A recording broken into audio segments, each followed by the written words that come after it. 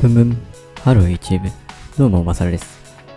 今回は、ファーウェイのファーウェイ Mate 10をご紹介します。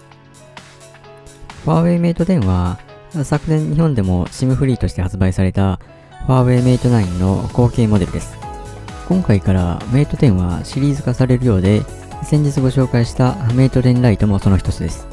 そして今回ご紹介する Mate 10は、このメイト10シリーズの中でもスタンダードモデル的な位置づけのモデルです。まずはじめにスペックを紹介すると、CPU はファーウェイのキリン970、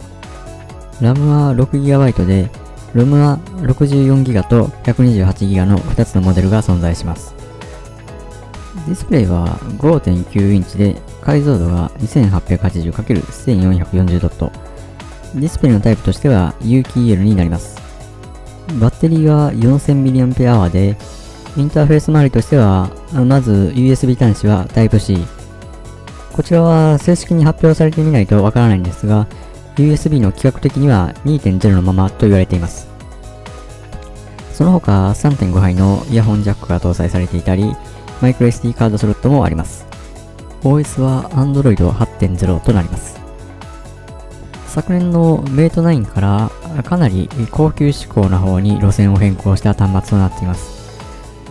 ディスプレイも昨年のモデルは通常の液晶だったんですが、メイト10では有機 EL に変更されています。一番気になるポイントとしては CPU のキリン970で、この970はまだ搭載した端末がないため、ベンチマーク的にどれぐらいのスコアをマークするかっていうところが気になります。昨年のメイト9やファーウェイ P10、P10 プラスなどに搭載されているキリン960っていう CPU がアントツのスコア的には13万点をマークしていて、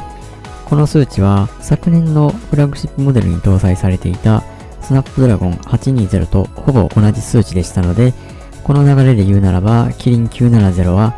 今年のフラッグシップ端末に搭載されているスナップドラゴン835とほぼ同じ17万点台をマークするのではないかと思います。ファーウェイメイト10の具体的な発表時期ですが、今月2017年10月に発表されると言われています。ファーウェイより正式な発表がありましたら、また別の動画にてご紹介したいと思います。今回は以上です。グッドボタンとチャンネル登録よろしくお願いします。